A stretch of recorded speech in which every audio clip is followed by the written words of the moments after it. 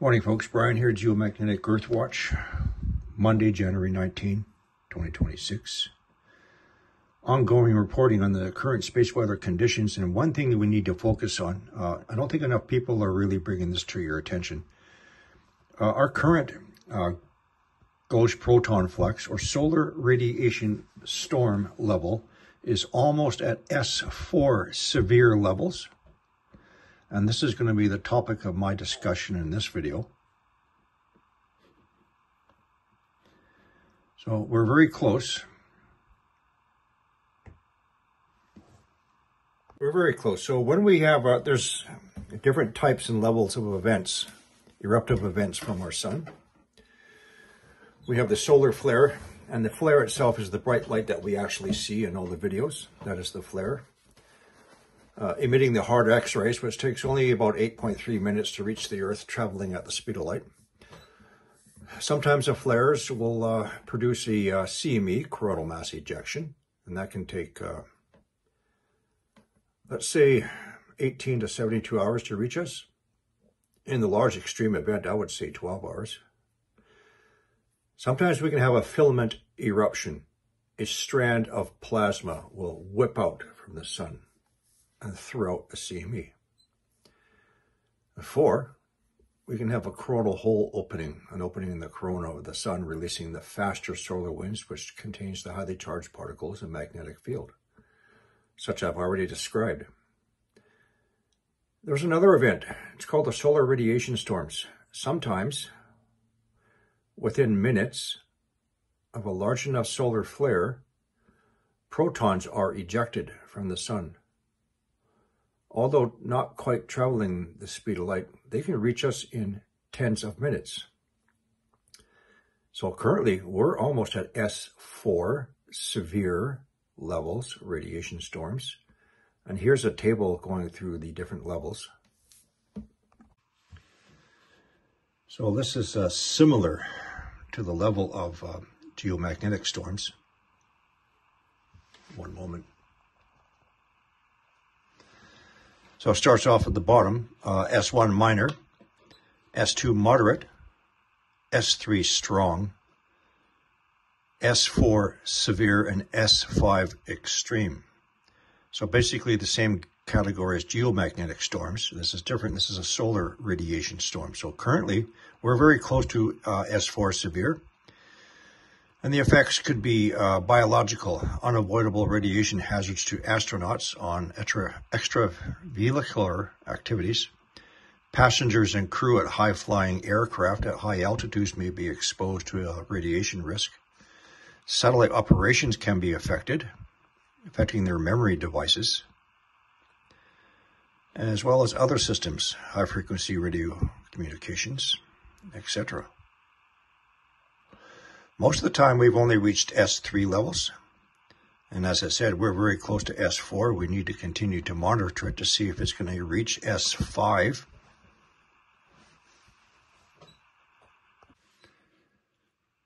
So we're very close to S4. It's a one-day measurement, six hours.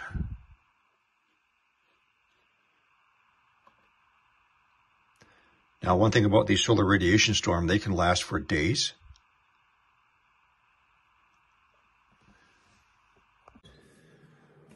Now, this uh, radiation level can be 10 times more than the muons, the muons which are the secondary showering particles from cosmic rays. And these do reach, uh, they can reach the Earth's surface, and when they do, it's called a ground level enhancement or ground level event, GLE, which can induce currents along conductors like pipelines, power lines, rail lines. So the coronal mass ejection has not reached us yet. Maybe in a few hours, but not yet. But the solar radiation storm has been ongoing for quite a few hours since yesterday. And we've already breached S4. Uh, so let's show you, show you one more. Now the event, the event is going to be uh, showing up in just a second. Here's our uh, flare CME. And all these particles here, all these specks, those are actually the protons hitting the sensors of the satellite.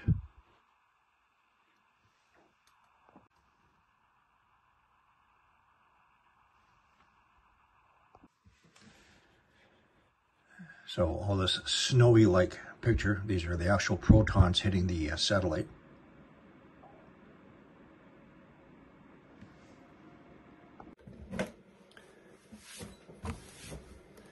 These uh, solar radiation storms can also cause auroras. Are you beginning to understand? Well, some people get confused. They don't know why auroras are showing up before the arrival of CMEs. It's the solar radiation storms. So now during these events, um, some data from satellites can give false information values solar wind readings may be false. So right now it's indicating very, very slow solar wind readings. That could be a malfunction of the satellites giving false information. So when a solar radi radiation storm reaches S2 levels, false readings may occur and continue to uh, be in error after the event. And a ground, uh, ground level enhancement GLE is a uh, secondary event. What are some of the other indications we're being hit by solar radiation storm? Um, a couple or three years ago, my daughter woke up one morning and uh, she says, Dada, I have this ringing in my ear. I never had it before. Later on that day, a neighbor down the uh, lane from me says, Brian, I woke up this morning. I have this ringing in my ear. I've never had that before. Now, of course, when you're staying on top of things, the space weather and everything else, you, you know what the cause is. Here's another indication I'll show you. This is a video clip from an older video. So these are hydro lines in front of my house, and this happens during uh, geomagnetic storms, specifically solar radiation storms. Let's take a look first, then we'll explain. Evening, folks. Brian here. Friday, November 22, 2024. So this is a hydro line uh, right in front of my house. And what you're looking at is a uh, plasma discharge electric discharge caused by uh, ionization of the air around the power lines. Now this happens uh, during uh, solar storms, such as the one that uh, apparently has just finished.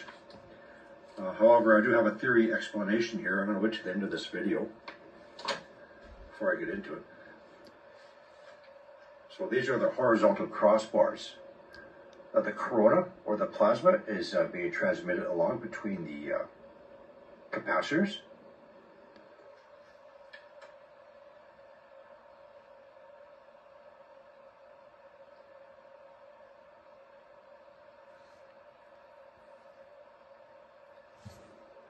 So while I'm doing the clips for this video, I keep on checking back, and we're now at a threshold at S4 severe solar radiation storm levels.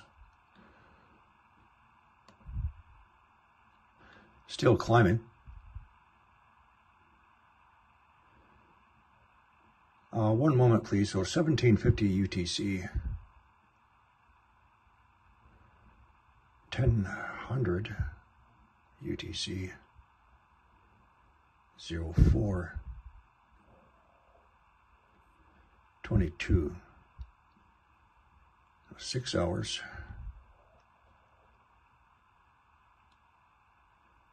Approximately six hours.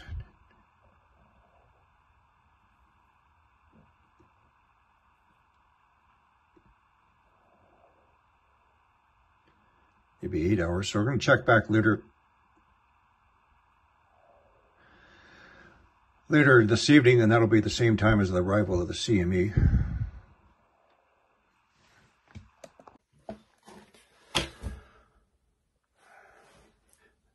So I may be at the beginning levels of uh, one of the categories of dementia, serious memory loss. So I do have to start doing written notes for these videos. A lot of it's just up here. I just got to find it, right? Sort through it. This wacko brain here. Mm -hmm. Short-term memory loss. Just sorry, folks. Hang on.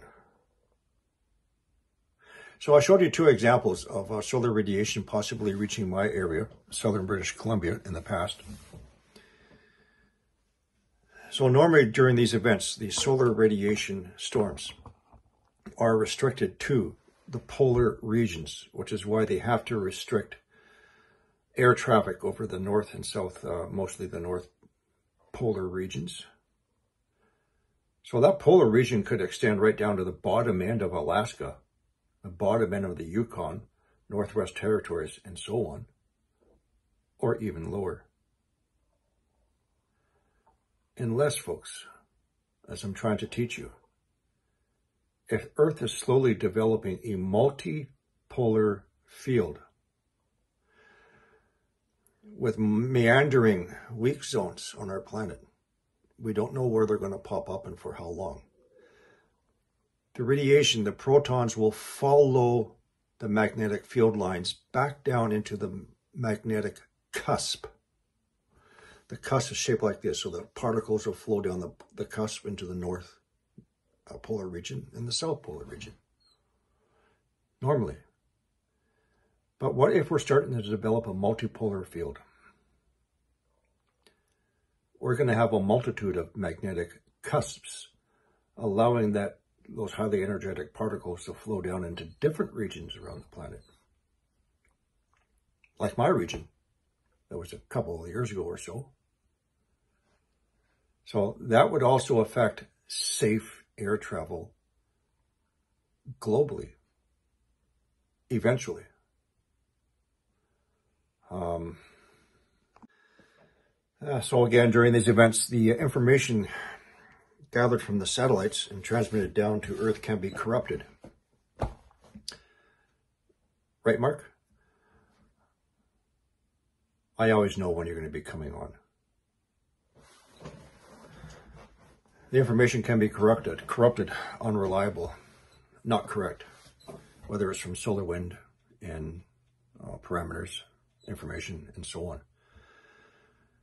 It can also affect GPS, GNS, GNSS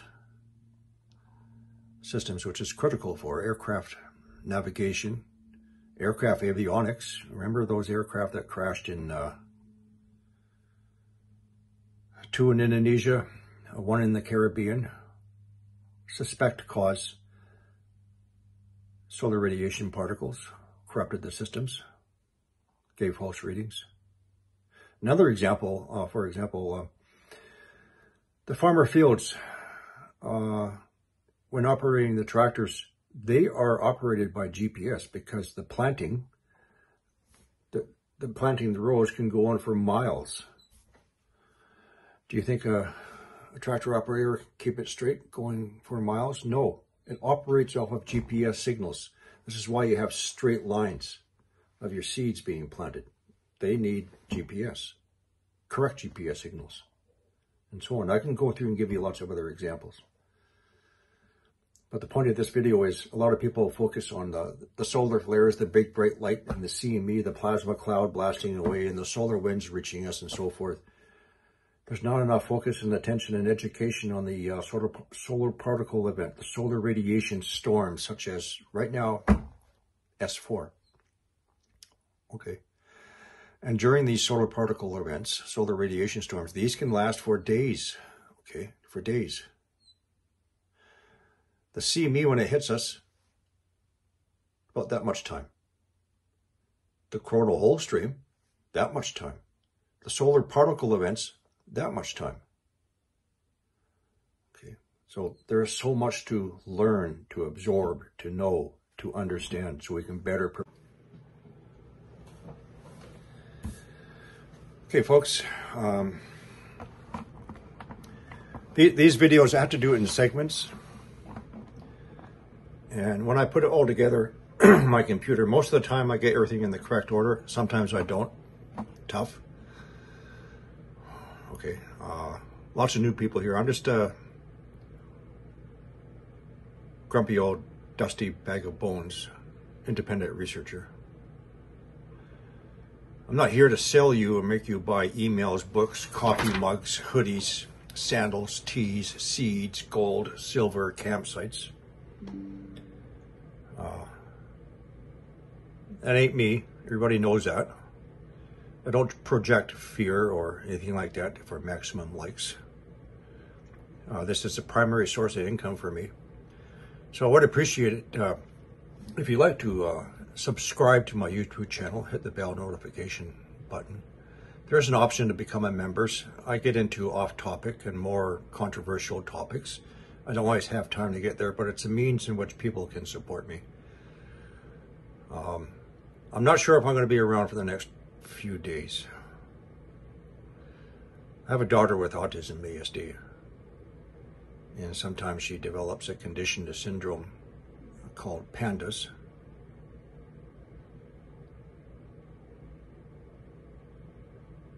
Pediatric, acute neuropsychiatric, whatever, research it.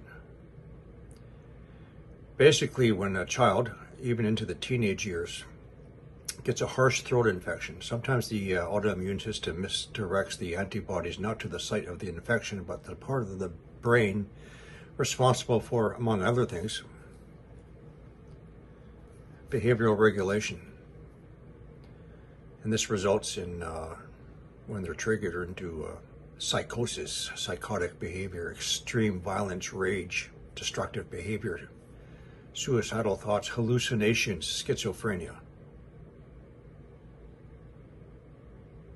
Which can also be amplified by geomagnetic storms that's going to be hitting us real soon.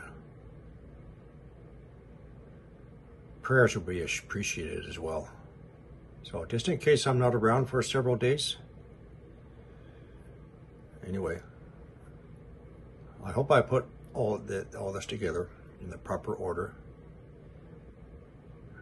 We talk a lot about um, geomagnetic storms, solar storms, CMEs, coronal hole openings. But a lot of people miss this, uh, the solar radiation storms, which can be more powerful. As powerful as a Miyake event. Anyway, folks, you have some homework to do. Let's get to it.